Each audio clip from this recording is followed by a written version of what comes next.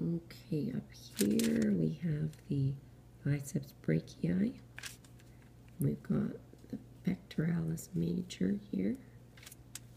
And this is the biceps femoris.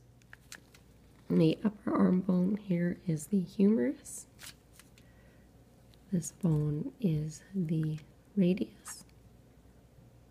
Here is the ulna. And down in the lower limb, we have the femur.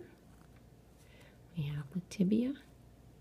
And here is the fibula that has been broken. Okay, right under here, under the rib cage, and there we have the diaphragm. Up along here, we have the trachea.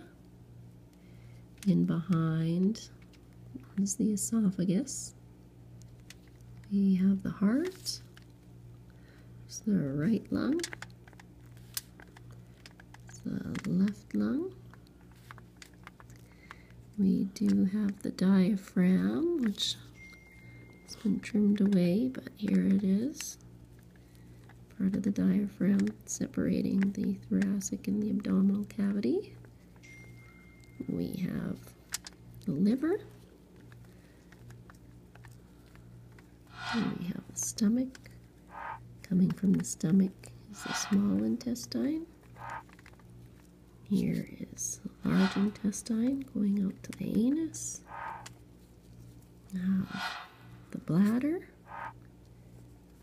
and testes.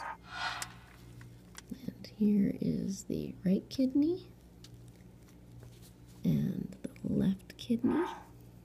Coming from the kidneys is the ureter going into the bladder.